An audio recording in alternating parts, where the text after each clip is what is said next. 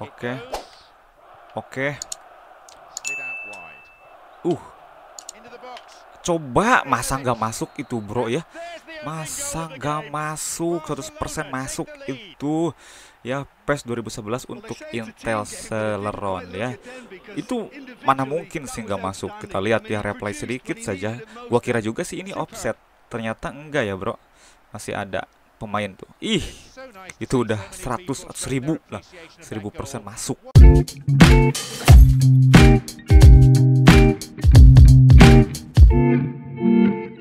Oke, assalamualaikum warahmatullahi wabarakatuh. Selamat datang kembali ya di channel Jale ID. Nah, di video kali ini gua bermain game PES berapa nih? Tadi udah lihat ya, PES 2011 cocok banget buat Intel Celeron ya.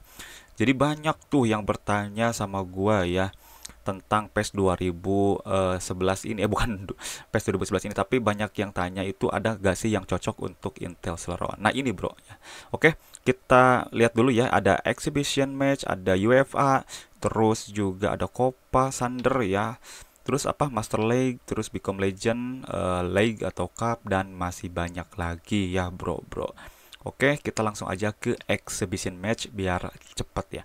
Oke langsung aja. Nah, di sini gua mau pakai liga semuanya banyak sih ya, tinggal nanti kalian cek-cek aja sendiri. Oke. Jadi kita akan atau gua ya, gua mau pakai ini ya Liga Spanyol karena dulu itu uh, Real Madrid lagi OP-OP-nya, jadi gua sekarang mau pakai ini ya, Bro. Uh, eh, FC Barcelona. Oke, untuk melawan apa? Kalau Barcelona itu rivalnya yaitu adalah ini ya Real Madrid. Tapi karena gua pengen yang lawan ini ya bro. Manchester United. Oke? Oke kita langsung aja lah ya. Oke bro. Jadi langsung ya uh, loading itu seperti ini. Jadi langsung. Kita lihat dulu aja ya sedikitnya Nah ini tampilan awalnya ya bro bro. Lihat. Buyol Ih keren banget sih menurut gua. Udah mirip banget PES 2013 bro. Jadi buat kalian yang gak bisa main game PES 2013 Bisa ini uh, eh, 2011 juga. Lihat keren banget ya udah ada hakim garisnya juga. Oke jadi buat kalian yang pengen main game PES apa gitu ya Di Intel Celeron ini dia. Cocok ya bro bro. Oke Messi. Messi langsung waduh dibuang saja. Untuk spesifikasinya kalian bisa lihat nih uh, di video di tampilan ini nih. Ya itu langsung dari Konami-nya. Dan juga banyak yang apa namanya berspekulasi ya tentang PES 2011 ini bahwa dengan piram 128 MB aja udah bisa. Nah rata-rata ya di PES 2011 ini memang menggunakan VRAM 128 MB, Bro. Dan juga untuk saat ini ya, Intel apa namanya itu Intel Celeron itu udah RAM-nya 8 GB dan VRAM-nya sebesar 128 MB ya, Bro. Jadi cocok tuh Nah, kalau sebelum-sebelumnya kan gua nggak rekomendasikan main game PES ya karena kan kalau pakai patch uh berat banget, Bro. Tapi yang ini shooting. Uh, coba sekali lagi. Aduh, sayang sekali. Jadi untuk yang ini bisa, Bro. Polosan ya. Kalau PES 2017 gue uh nggak apa namanya itu tidak merekomendasikan ya karena ada beberapa faktor kayak ngelagnya itu minta ampun terus juga kadang takutnya ya crash malah nggak bisa dimainkan.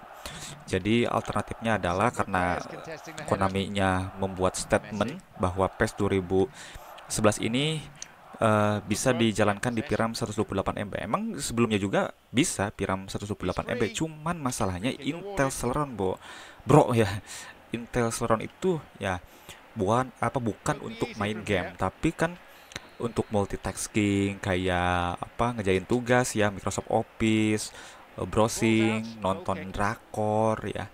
Cuman kayak gitulah. Nah misalkan terlanjur tuh dibeliin sama emak lo atau orang tua lo ya beliin laptop tiba-tiba kita nggak tahu bro. Malah dikasih Intel Celeron ya.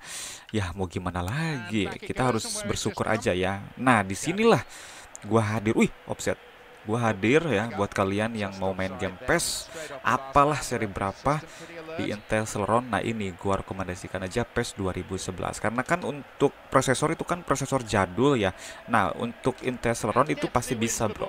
gue yakin pasti bisa. Oke okay. Messi Oke, Mes. Coba. Eh, salah bro, gua lupa. Ya. Kalau di PES 2017 atau di apalah di pencet X itu kan langsung oper ya. Kalau ini enggak bro, lupa ya generasi old berarti. Tapi overall ini enak banget ya. Oke mes. Ih, harusnya pelanggaran tuh. Coba. Susah, Vi. Oke. Coba. Oke, oper dulu. Aduh. Puyol. Oke, kita main dulu aja lah ya, bro. Biar lebih enak nih. Tahan. Ih, kosong lupa lupa lupa kosong kosong. Oke. Aduh, babak pertama ya. Di babak kedua kita harus lebih agresif lagi nih, bro. Mudah-mudahan dapat si 2-0 lah ya. Oke, dari tadi kan kita ngobrol-ngobrol terus nih. Intinya bisa ya, PES 2011 cocok untuk uh, PES uh, untuk uh, Intel Celeron, bro. Bro, bro. Oke, oke. Mes, maju Mes. Oke, lari Nesta. Inesta. Eh. Pekue. Pekue. Oke. Masuk. Aduh, memang kipernya itu luar biasa ya, Pandesar. Pandesar loh. Oke. Uh, balik lagi dioper ke Safi. Oh, dibuang saja ya, Bro. Oke, oke, santuy. Oke. Oke. Uh. Coba masa nggak masuk itu bro ya? Masa nggak masuk 100% masuk itu. Ya PES 2011 untuk Intel Celeron ya. Itu mana mungkin sih nggak masuk? Kita lihat ya replay sedikit saja. Gua kira juga sih ini offset. Ternyata enggak ya bro. Masih ada pemain tuh. Ih itu udah 100 atau 1000 lah. 1000% masuk. Oke 1-0 kita coba again. Iya. Oke. Aduh, Ibrahimovic. Iya, body. Uh, keren banget ya Ibrahimovic ya, Bro. Nah, Safi.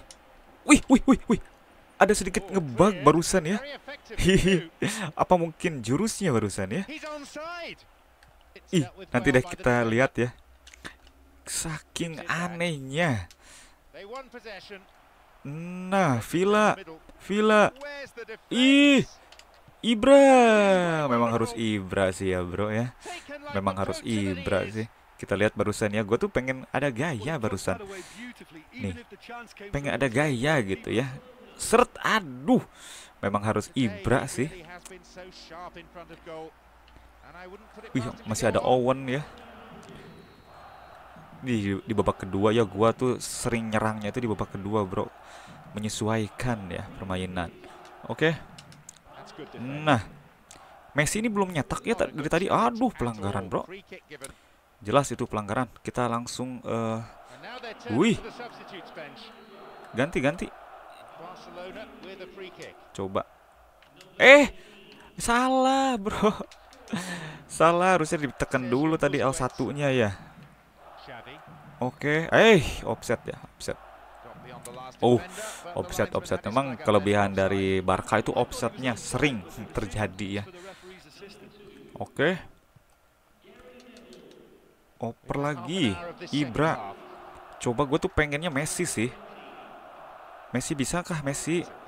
Mes, gue cek dulu Mes. Eh, aduh, nggak bisa diarahin ya. Barusan pakai analog, malah ngop, malah digocek ke sana bro. Keluar lapangan ya. Oke mes. Coba ya.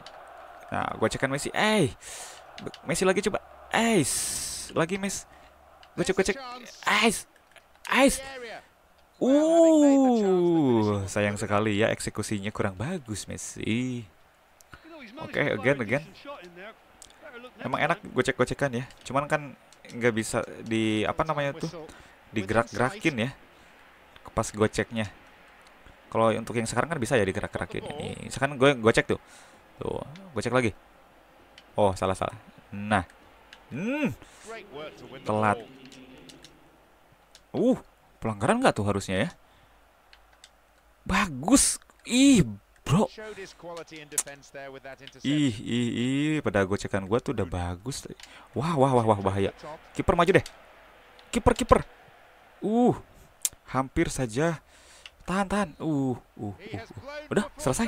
Waduh, selesai bro. Oke, thank you ya telah nonton video ini sampai selesai dan jangan lupa di subscribe channel Jale ID. Terima kasih dan wassalamualaikum warahmatullahi wabarakatuh. See you next time.